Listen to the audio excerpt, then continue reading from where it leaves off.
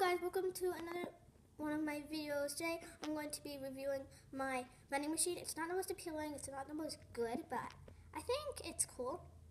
And I don't know why I have this hole there, but okay. So let's get started on to the video. So what you're gonna do first in the vending machine is you're gonna put in a coin. You have to put 25 cents. And I just put it in there. Now I'm gonna pull I'm gonna pull and push the tab and then retrieve my prize.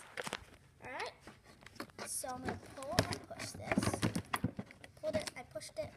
Did I get anything? Oh, I got so many. First, I got a little ice pop. I'm not gonna use all my quarters, I'm just gonna put these aside. So I got a cute little ice pop. It's got like a little blush. It's adorable. I got this little monkey face with like kissy lips. And I got a gymnast, which I think this is a ribbon here, and she has like purple hair. And did I get anything else? No. So basically, that's how it works. I'm going to show you the mechanism. Um, oh no, it's the gymnast. So I'm going to show you the mechanisms. That's really, really ugly. Alright, so.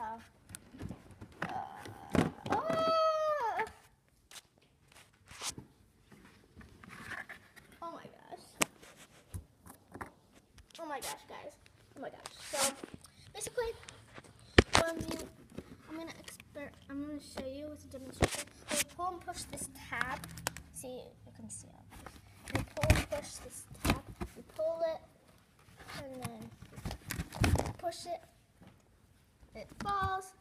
It falls, and then you retrieve it from here, from the little hole. So yeah. And when you put in the coin, goes into this little tub. This little tub. and so basically that is my vending machine. I'm just gonna take all this down because this is just being annoying. Okay. So that's my vending machine.